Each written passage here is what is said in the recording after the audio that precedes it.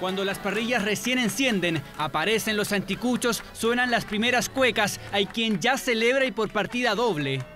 Ella es Jimena Jara, comparte con el ministro del Trabajo Nicolás Monkever. Él hizo una promesa en las subastas de la tía rica, hoy la pagó. Esto ya es una tradición. El año pasado dijimos, para motivar a la gente a que vaya al remate, que la maleta más millonaria, como se rematan sin abrir las maletas, yo me ponía con el asado. Y eso ocurrió en el Parque Padre Hurtado de la Reina. Sobre el mesón del asado, la maleta millonaria de Jimena participa hace seis años de subastas. Este es su mayor premio. Invirtió 3 millones de pesos en un equipaje olvidado del aeropuerto, pero tuvo fortuna y se adjudicó equipos que valen 6 millones. Yo soy de las que reviso muy bien antes de ir al remate porque uno en las ofertas se entusiasma y a veces oferta, más.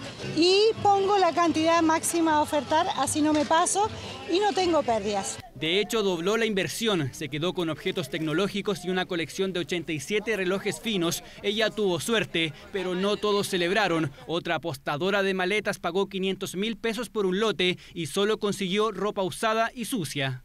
El remate, por ley, tiene que hacerse con las maletas cerradas. Entonces, claro, algunos se equivocan y otros la chuntan. Y lamentablemente aquí los despistados que dejaron las maletas botadas en el aeropuerto son los únicos que pierden. En la subasta de objetos olvidados del aeropuerto participaron 300 personas y se remataron más de 700 maletas. En total la recaudación alcanzó los 25 millones de pesos. Gran parte de ese dinero será destinado a programas y actividades sociales de Pudahuel. Jimena ya parece ser experta en maletas de la fortuna. El remate anterior me salió 60 mil pesos de costo y la maleta era de una marca muy cara, con una cartera dentro muy cara y dos eh, maletines muy caros y que yo le saqué casi 3 millones de pesos. Ahora piensa vender los relojes para viajar al extranjero con su ahijado. Eso será luego, desde hoy a disfrutar el asado que el 18 comenzó con bastante fortuna.